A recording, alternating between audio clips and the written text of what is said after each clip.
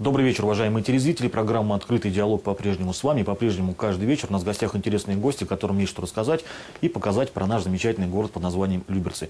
И у нас не в последний раз в гостях Павел Павлович Краснорудский, начальник управления по работе с территориями администрации города под названием, опять же, Люберцы. Павел Павлович, добрый вечер. А, добрый вечер, Алексей. Добрый вечер, уважаемые телезрители. Павел Павлович, можно сказать, что сегодня мы с вами будем в эфире отмечать э, некий не круглый, но юбилей, потому что год назад, насколько нам известно, было создано это самое замечательное управление. Э, ну, практически год, да, примерно, примерно в эти вот э, даты, да, в марте месяце. Когда создавалось это управление, вы уже знали э, цели и задачи или как-то было все сыровато? Ну, цели и задачи, конечно, они были поставлены изначально. Другое дело в процессе работы. А некоторые вещи, они уточнялись, э, как-то функции расширялись, и поэтому сейчас уже Эм, сформировалась и команда, и коллектив, и, соответственно, уже эм, сам принцип работы тоже стал понятен. И атмосфера. Ну, атмосфера самое главное. Давайте поговорим про атмосферу. Каждый понедельник глава города района э, собирает в зале всех представителей служб, ну, да, это... организаций и прочее. И как, когда вас э, просят выйти на трибуну, рассказать, какие жалобы поступали на прошлой неделе в управление, то многие чиновники начинают немножко вот так прижиматься. Они иногда боятся ваших выступлений. Вот с чем это связано? Наверное, э, ну, а, основная, одна из основных э, функций нашего управления – это действительно доносить те э, жалобы, те чаяния нашего населения, жителей нашего города, э, с которыми они действительно обращаются, с которыми, которые их действительно тревожат, потому что ну, не секрет, что а, обращаясь в определенные службы, некоторые их просто не слышат, не замечают. Ну и э, складывается такое впечатление, что администрация не реагирует на эти обращения. Но в связи с этим, как и э, в начале нашего разговора я сказал, да, было создано наше управление, в которое любой житель может обратиться по любым вопросам, которые э, волнуют жителей.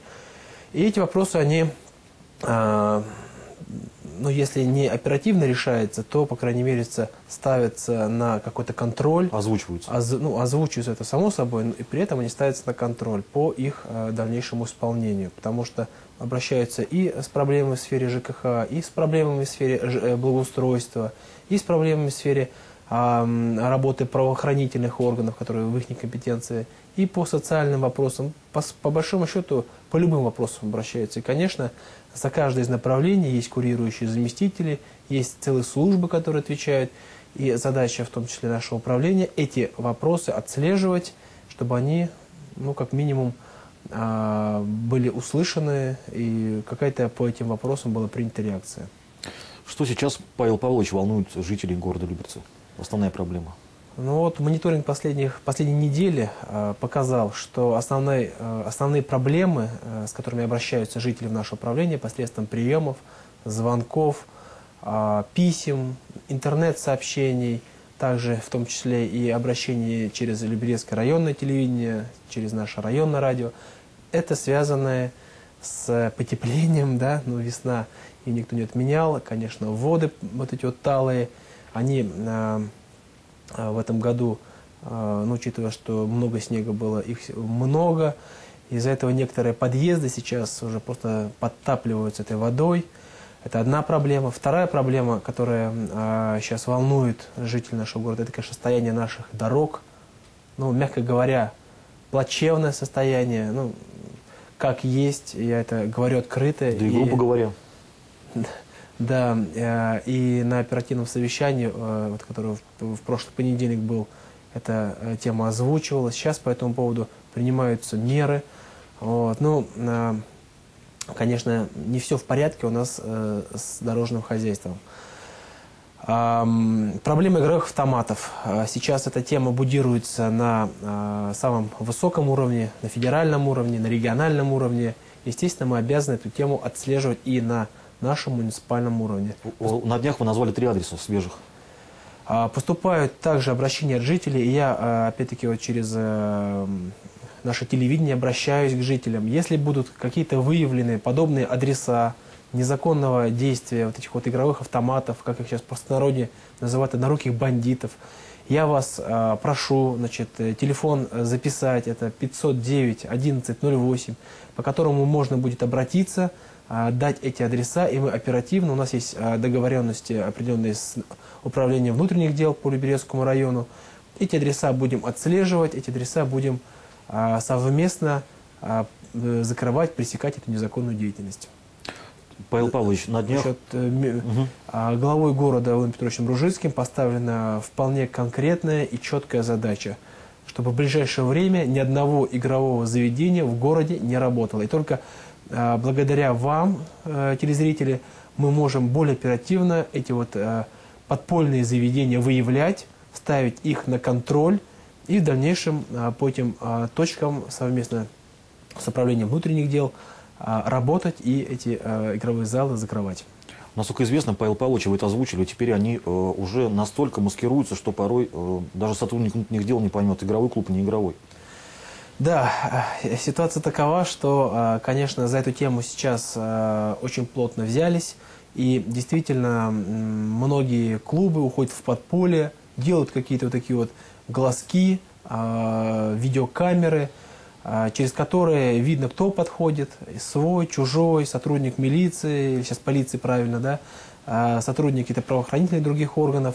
И, соответственно, своим открываем, чужих не пускаем. Вот но при этом, как жители, опять-таки, а, а, нам дают информацию о том, что они в ночное время, вечернее время свободно работают. Поэтому а, ну, у э, правоохранительных органов есть такие полномочия, если по каким-то адресам есть какие-то вот жалобы, эти темы отрабатывать и в дальнейшем а, брать на контроль эти адреса, ну и другими словами закрывать их, не давать им а, возможности как-то вот работать и, соответственно, нарушать те законы, которые у нас существуют на сегодняшний день. Давайте вернемся к э, состоянию наших дорог. На днях э, заместитель главы города Алешин и начальник, руководитель Объединенного комбината благоустройства собирали брифинг для журналистов, ну, местных. И сказали, что до 8 мая весь ямочный ремонт в городе будет завершен, совершен. Ну, тут есть и объективные, и субъективные причины, почему этого не произошло. Ну, во-первых, мы все помним, а, что у нас было на выходных. Да, Мгм. у нас повалил снег. Ну, понятное дело, сейчас асфальт закатывать в лужу, ну, это на ветер выброшенные деньги. В данном а, случае я абсолютно а, разделяю позицию дорожных служб, что, конечно, асфальт надо класть на а, ну, более-менее подготовленное основание Сухое. сухой, другими словами. Вот. Я вам так скажу, поставлена задача, и Александр Николаевич Алешин, первый заместитель главы города Люберцы, э, сейчас до конца мая месяца проводит оперативные такие вот планерки по вторникам и пятницам в половине девятого, на которые собирает представителей всех э, дорожных служб, кто за какие дороги отвечает, и ставятся конкретные задачи, с одной стороны, с другой стороны, а, отчет о выполненных работах по а, устранению вот этих вот э, ям, выбоин, которых, к сожалению, на дорогах нашего города еще предостаточно. Но, опять-таки, учитывая погодные условия, погода нам немножко эти планы все портит, но тема на контроле, я вам хочу сказать, действительно а, большой есть. Вот у нас э, прошел во вторник в пол девятого вот этого совещания а, большой большой план по ликвидации вот этих вот э, выбоин и ям на дорогах. Но, конечно, в том числе есть и большой план по а, капитальному ремонту, в том числе дорог. Насколько известно, по-моему, улица Волковская будет ремонтироваться очень сильно и мощно. Ну, не только Волковская, и Урицкого, и сейчас э, ремонт должен пройти этот ямочный на улице Смирновская. А в капитальный ремонт, насколько я вот э, слышал, поп- попадает а, Красноармейская улица, а, попадает улица Колораж. Ну, вот эти вот улицы, которые, мягко говоря, как после бомбежки, по-другому назвать нельзя. Ну, в свое время, Проехать невозможно. в свое время Сталинград же установили. Ну, я думаю, и с люберцами будет все хорошо. Павел Павлович, э, часто вам приходится, мы часто видим вас на улицах э, города Люберцы, вы курсируете на машине, и ну, у вас цеп- цепкий, зоркий взгляд, вы что-то все время высматриваете. И вы все время с фотоаппаратом. Вот что это такое? А понимаете, когда выходишь в понедельник на оперативное совещание, когда начинаешь рассказывать, э, ну как-то вот доносить информацию в устной форме, Что происходит оно воспринимается. Но когда еще показываешь это э, на фотографии, и когда все, ну, назовем как оно есть, отцы города, да, это люди, которые отвечают за жизнедеятельность города, это все видят воочию, а тем более, если там присутствует начальник, который отвечает за тот или иной вопрос, поверьте мне, вот в таком э, ключе эти вопросы решаются более оперативно и ну, не дожидаются там следующего оперативного совещания, чтобы второй раз по тому же самому вопросу еще раз был повод проходиться. Стоило ли на крайнем совещании показывать фотографии подземного перехода, про который вы говорили? Или и так эту проблему все знают? А, вы имеете в виду ц- центральный, перекрё- э, центральный перекресток, подземный переход? скажите, что там ситуация патовая просто ужасная. Ну, она не патовая, но, по крайней мере, а, требует э, незамедлительного вмешательства. Дело в том, что вот эти гранитные ступеньки, которые э, ведут э, в подземные переходы, из подземного перехода, они уже а, за зиму расшатались. И, ну, очень много поступает жалоб от жителей, что просто небезопасно по ним спускаться. Можно элементарно упасть.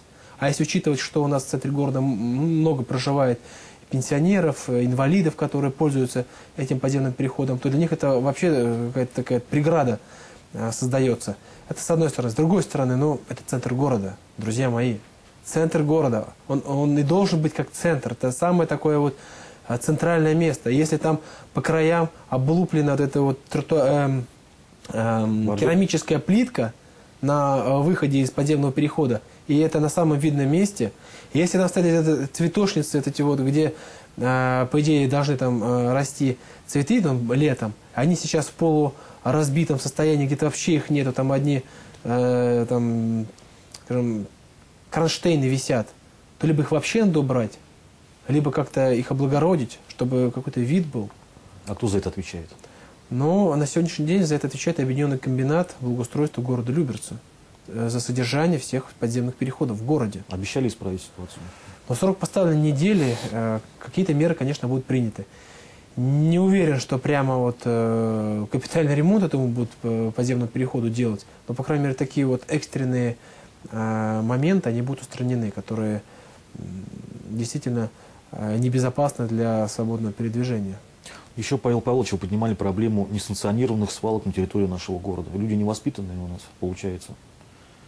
Или мало у нас э, специальных таких площадок, где можно мусор это выбрасывать? Площадок у нас предостаточно. А другое дело, а, не все, но на мой взгляд, площадки стоят на своих местах. К примеру, вот у нас излюбленное место свалки, это территория между а, Макдональдсом и сейчас называется Перекресток торговый центр. Жители, которые идут вот, э, с улицы Кирова, с этого вот микрорайона, на станцию с пакетами, естественно, не, не доносят просто эти пакеты до мусорных этих баков. Если, допустим, убрать там 2-3 ракушки, которые стоят на а, пути, и вместо этих ракушек поставить контейнерную площадку, поставить там нормальный бункер, как он э, раньше-то и был, то, на мой взгляд, этой свалки просто не будет. Жители просто будут, а, проходя мимо, а, выбрасывать мусор, вот эти э, пакеты мусорные, именно вот этот бункер. А если поставить его на центр а, этого, э, этого сквера, да, который, ну, естественно, люди до, до этого центра сквера доходить не будут. Здесь как бы обоюдно, да, и культура наших жителей, с одной стороны, а с другой стороны, место расположения этих бункеров. То же самая ситуация и под эстакадой «Мальчики». Там раньше когда-то стоял бункер, мусор собирался в бункер. Бункер убрали, люди по наитию, идя на остановку, выбрасывают а, по ходу своего следования пути. Думаю, что его потом уберут. Думаю, да, что потом уберут, как же так. Павел Павлович, что еще вас волнует как жителя города Люберца и как начальника управления? Какие у нас есть такие проблемы, которые решаемые, но не скоро и не сразу?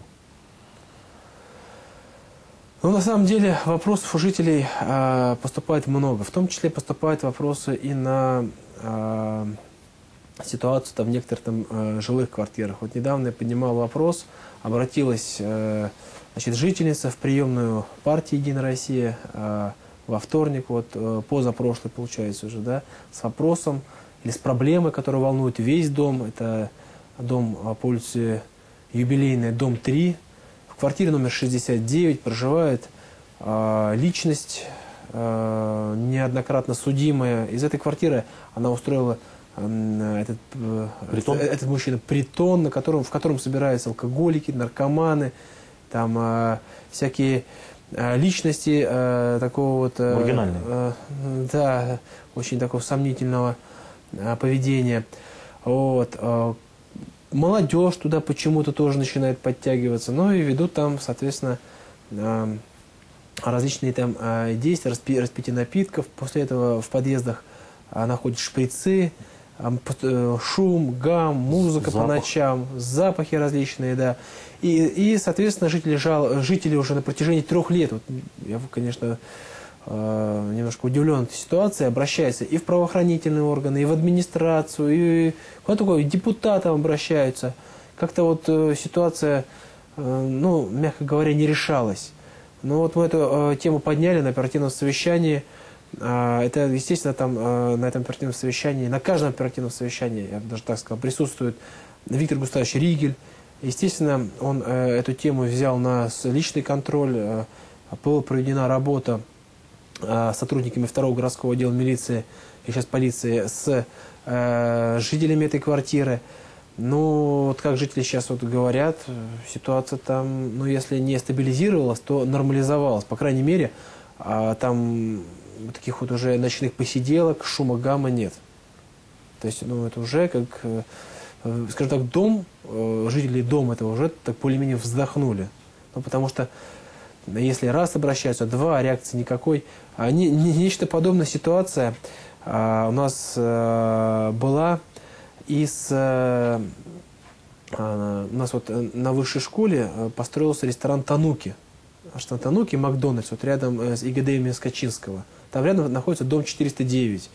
И э, вот этот вот э, ресторан Тануки поставил свои мусорные контейнеры, баки, ну, скажем так, напротив окон жилого дома 409. И жители вот этого вот дома уже неоднократно обращались и в администрацию, ну, да, там, по соответствующим службам, и в различные надзирающие органы, административно-технический надзор, э, там самая эпидемстанция, Рос- то есть, естественно, Роспотребнадзор называется.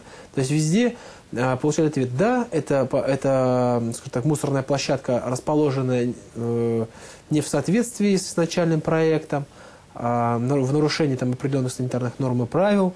Ну, вот, но, однако, руководитель этого э, ресторана э, никаких мер по э, переносу этой, э, э- э- этих вот мусорных контейнеров не предпринимает. И вот буквально на, прошедшей оперативном, э, на прошедшем оперативном совещании я эту тему э, поднял.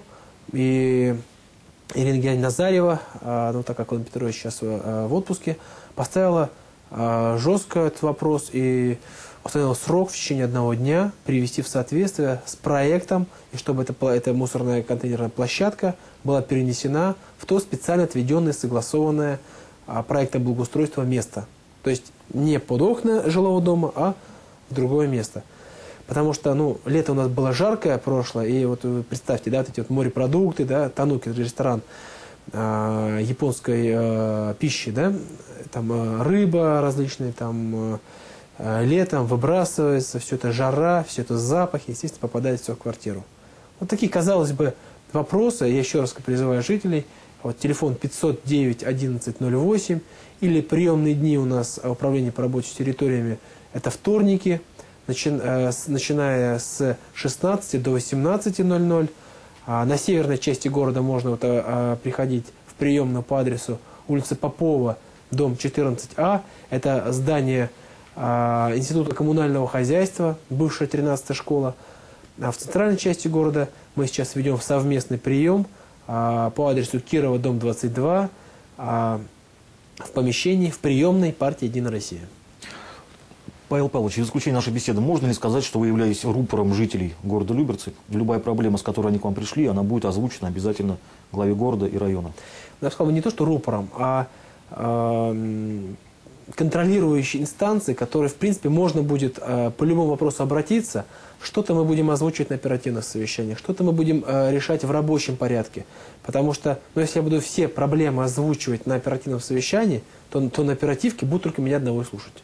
Поэтому из тех проблем, которые у нас существуют в городе, а, ну, наша, наша проблема выявляет только наиболее острые или системные, на которые необходимо а, реагировать, ну, скажем так, незамедлительно.